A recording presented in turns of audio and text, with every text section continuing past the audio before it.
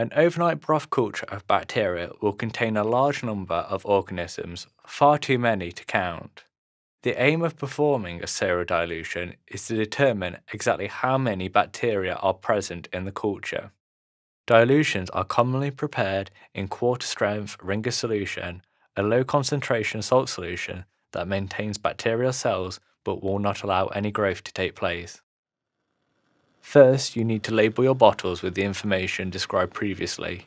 In this case, we are going to take 7 bottles containing 9 milliliters of quarter strength Ringer's solution and label the bottles with the dilution series from 10 to the minus 1 down to 10 to the minus 7.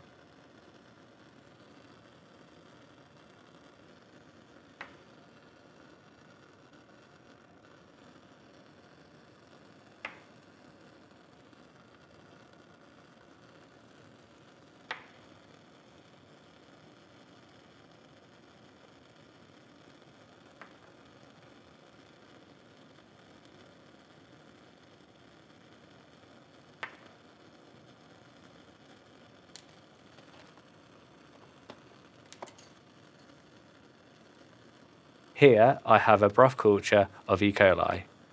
Using aseptic technique, we remove the lid, flame the neck of the bottle and withdraw 1 milliliter or 1000 microliters of the culture using an automatic pipette and sterile pipette tip.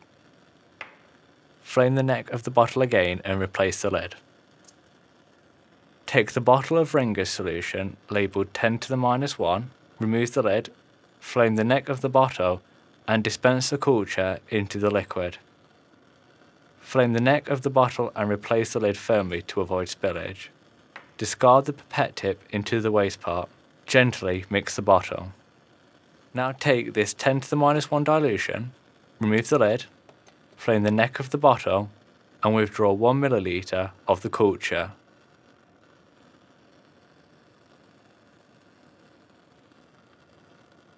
Flame the neck of the bottle again and replace the lid. Take the bottle of Ringer's solution labelled 10 to the minus 2, remove the lid, flame the neck of the bottle and dispense the diluted sample into the liquid. Flame the neck of the bottle again and replace the lid. Discard the pipette tip into the waste.